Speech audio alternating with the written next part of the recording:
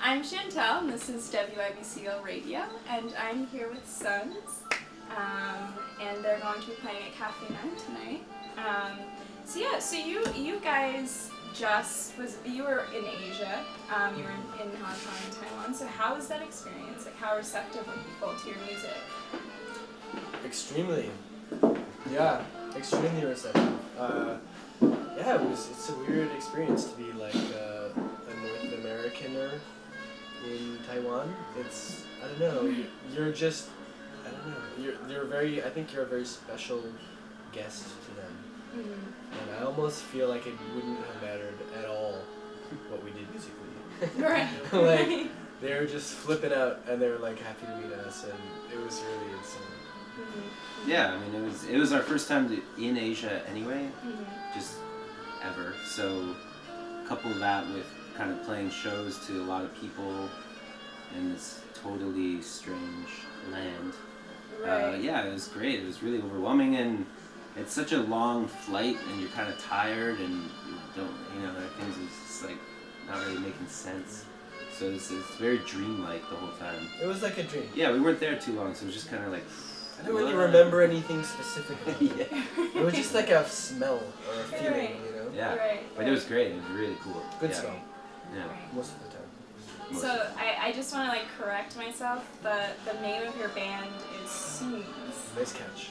Yeah, we well, it can be both, but uh, we have lately been saying soon. We've been doubling down on Susan. Yeah. Right. We mess with people, I guess. So. Next album, who knows how it's gonna be.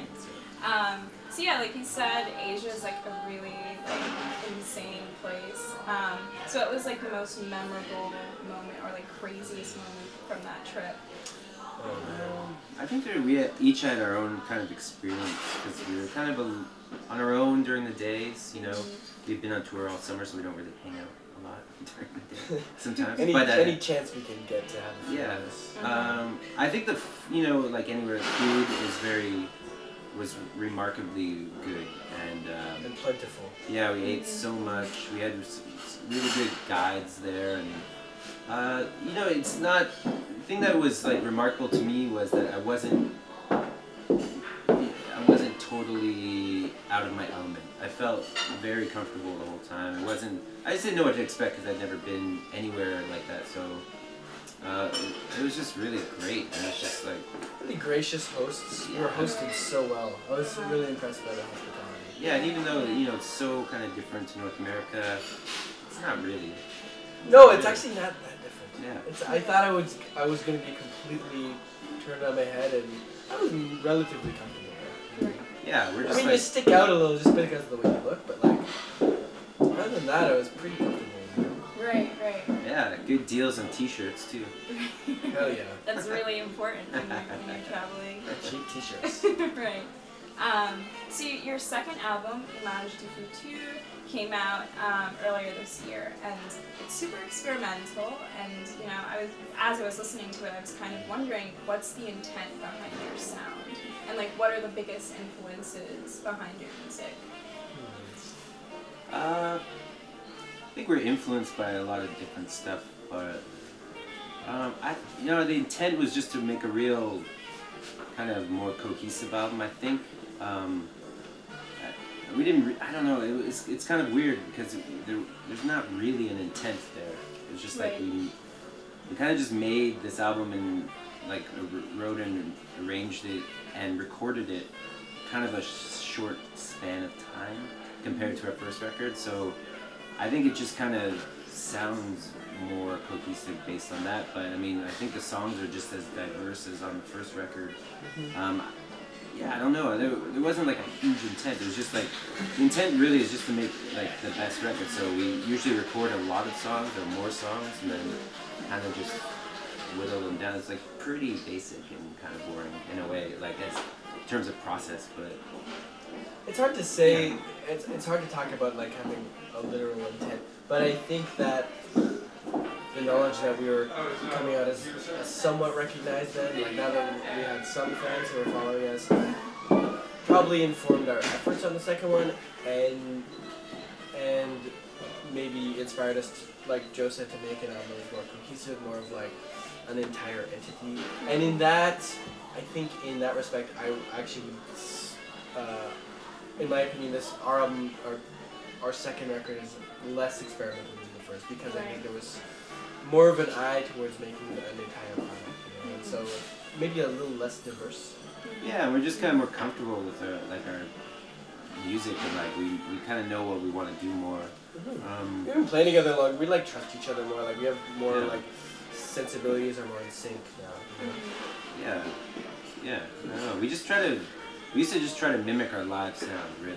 You know, I think on this record it was less of that. Right. But we usually don't, you know, overplay either on records, like because we want to be able to play it live. So we don't add a lot of stuff that we wouldn't normally do.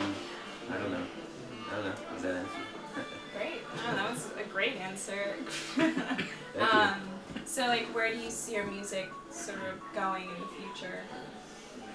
Is it going to change drastically, Uh, or um, I doubt it. No, Yeah. I doubt it. It's funny though. Like I think the thing that I like myself, what I like about playing this band is that I I have an easy time imagining it with different kinds of influences. Like whenever I listen to whatever style of music, I can sort of see it fitting into the Soon's world a little bit because I think because I think we've evolved our sound on such an eclectic set of influences in the first place. You can sort of throw a lot of things against it and it works. Mhm. So, in that sense, maybe it'll be a little more. It, it might be unpredictable. You don't know how Yeah. it's gonna come out. right? But uh, then again, we're still the same four guys, and you know, and I, I think when, when we were making the second record, I was a little worried that we weren't gonna be able to achieve like the sound that we had on the first. Mhm. But it's just some sort of law of interpersonal chemistry you end up sounding like yourself. So, you know, no matter how we try to change, probably we'll end up sounding more or less like people now. Yeah, I think Which we're all kinda of excited to make new music at this point because we've been playing a lot of shows this year, and yeah, I, know, I think I'm just I'm looking forward to it. I, I think now we're even more comfortable with that sort of process, and yeah, I think we'll just go deeper, and it's gonna be probably just weirder. Like the commercial aspect to our band doesn't really work. Like we're not trying to you know blow up on the radio or anything, so. That's not gonna happen. Yeah, it'll never happen, and That's not people don't want it to happen, Mhm. obviously. So, That's a yeah, I think it'll. I just think it'll be heavier in all aspects. Of, you know, Right. word. You know. That's awesome. um, so you you guys hail from Montreal, city has such a rich history of like music. Yeah. Um, so what would you say are like the defining characteristics of the music scene in Montreal right now? Mm. Huh. Right now, uh, Grimes. Just that, Grimes. that characteristic, Yeah. the Grimesy aspect. No, it's really cool. Uh, like you know, You well, never like- see Grimes or like hanging out in the cafe though. Nope. Um, but She's kind of big. no? She is very big, Yeah. yeah, yeah, yeah. Um, which is awesome, and she should be. Uh, yeah, I don't know. It's just cool to see like stuff like that, like really people doing their own thing and then sort of getting recognized or doing well based on just sticking to what they do, not Yeah. sort of compromising. I think that is a defining characteristic. At least for Montreal, I wouldn't know about other places because I've never lived anywhere else, so Right. Can't. s- I'm sure it's probably similar. I do think. Montreal has like an unusually high percentage of bands that get popular while being totally uncompromising.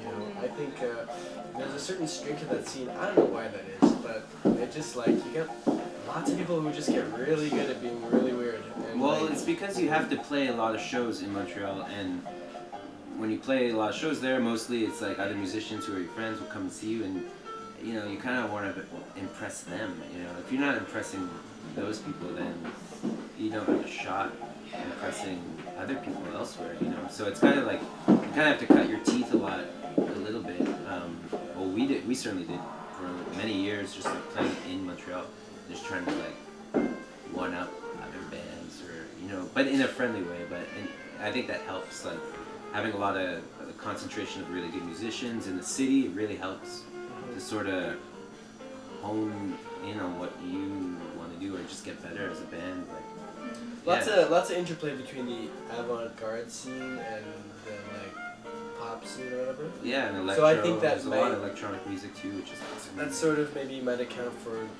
lots of these sort of black sheep coming out of Montreal, you know? Like sort of weird bands. I don't know. Like I mean, some of us have a history of playing like free jazz music, so. But then you get involved in the indie rock scene somehow, and there's just a lot of crossover. There. Right. yeah. So how has the city, that culture, sort of influenced your music in particular? Uh, I th- well, I, you know, I don't know if it's like a culture thing, but Mm-hmm. if it is, it's probably subconscious because there's a lot of French and English in Montreal, so there's just so much stuff happening, not only in music but like art and just in life. Like people just do kind of what they go, like people move to Montreal to pursue crazy ideas, crazy Yeah. dreams. Like Right. not only No one like, asks like music, what, what kind like of job you have. They're like Yeah. they're like, what are you doing? Like what are you working on? Like yeah. no one has a job. It's like it's it's just like. But uh, even if you want a job, like a, you want an interesting one, you, you can move to Montreal and try to pursue that because it's kind of cheap to live and you have a lot of leeway that way. Like you don't have to work six days a week to be, you know, to pay None of my friends have a job. It's crazy. I go home and everyone's just hanging out all day. It's insane. The unemployment rate. It's Yeah. crazy. But then they're also doing like somehow being insanely productive, making crazy shit. all the time. So I don't know. Yeah, it's like, it's kind of a mystery. I mean, you know, and I think like we're also maybe influenced by that that sort of friendly competition. That, you know, it is because especially for an anglophone, like a- an English speaker, and you're on like the anglophone scene, it's so small, and so then you kind of get a bit of like tension. You know, like there's like lots of like uh, one-upmanship that goes on in like a totally cool way. Yeah, but yeah, yeah. but that's in the air. You know, you go to some show and you're like, that was really amazing. So you start working on your shit. Mhm. Yeah, you can't you can't phone in a show like and expect people to come back. You know? Right. Yeah. Right, right. Um, so when you're out on tour in far, far away places like Asia, um, what do you wi- like miss the most about Montreal? Like, what do you wish you could bring with you? Hanging all day, doing nothing. drinking coffee. and kind of- I don't know. Uh, It's hard to complain when you're like on tour in Europe and Asia and stuff. Like, you know, it's it's really good to live in Montreal, but it's like anywhere, it's great to be away. So, I don't know. I, I think we love being on tour. Like we tour so much, and a because we like it and we need to do that. But it also just makes going back home more better. Like it's just, kind of like two yeah. different worlds. Like when I'm on tour, I don't really think about Montreal Yeah, I don't. much. Yeah, exactly. It's Yeah. sort of like it's a whole different lifestyle. Because uh, being on tour is it's not an activity; it's a lifestyle. It's like a culture. So you're like you're going everywhere, but in like in some sense, you're sort of in this like village of being on tour. You know, with other bands that are in that culture, Mhm. and and so it's like you're living somewhere else, and, and it's not like And where you're living is in a van. You know. Like, you live in a van. So maybe I miss my bed. Yeah. That's a pretty good answer. Yeah, it kind of misses That's normal not life, really but specific to Montreal though. That could be anywhere. Yeah. Yeah, I don't, yeah You got a nice mattress. Um, so if you can tour with any band, any musician, um, who would it be? Prince. Yeah. Like, Why not? Before she even finished the question. That's my answer. That'd be cool. Yeah, yeah. We'd never do that. That'll never happen. Well, I don't know how fun it would be actually. You'd probably just you would never even meet him. You'd never Yeah. see Prince. No. All right, scratch Prince. He's out. Yeah. Uh, uh, who else? Is there other? I don't think good? there's anyone else Really? playing music these days. Uh, Uh, Yeah. I agree. I mean, Kraftwerk. Uh, yeah, that'd, that'd be, be cool. pretty interesting. Mhm. It's hard to know though, like what's gonna be a good tour. We're not really answering your questions very directly, sorry. But Yeah. like, I don't know. Like we like touring with our friends and like Yeah, it's kind of like it's all about the hang it's a all about the little bit. experience. Yeah. 'Cause you're So so who knows? Like, there's some bands that are really cool.